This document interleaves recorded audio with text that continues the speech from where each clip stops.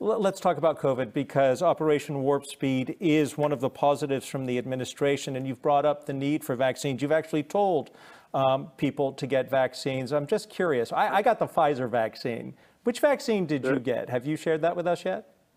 Well, I got the Pfizer, and uh, I would have been very happy with any of them. I thought a very bad statement was when they did a pause on Johnson and Johnson. I think that frightened people. That was a bad thing to do. Uh, at that time, when they did the pause, they had six people uh, that may have had some difficulty out of millions that received it. But I think the pause was a very bad thing to do. Mr. President, you've talked a lot about the good state of your health, and I'm curious uh, would you get the booster shot? Well, if I felt it was necessary, uh, I guess I have sort of a double vaccine because, as you know, I had it, uh, recovered from it pretty well. Uh, I don't think I had it like the press, like the media said. You know, they would try making it uh, difficult. Not pleasant, but I had it. I recovered. I, in addition to that, got the shot. I mean, I'm somebody that tells people I'd like to see them get it. I also want them to have their freedoms, etc. But uh, I got the double shot.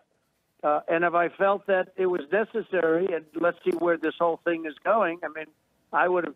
I was surprised. I thought it would have been gone long before now. You know, you don't hear Biden being criticized for the fact that this thing is lingering on. In some cases, you know, numbers that are very, very large. It, I- it- it is. Mr. President, it is lingering on. But when I mentioned you had said to your supporters, get a vaccine, some of them booed. And the current data shows us that it's the unvaccinated that are contributing to why it's lingering. What do you say to those people? Well, you know, it's interesting. When I was president, everybody wanted to get the vaccine. Everybody. There was a rush to get it.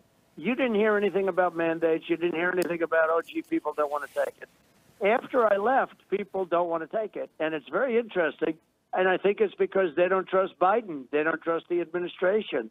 When I was president, there was a rush to get it. Everybody wanted to get it. It was only after that you started to hear this.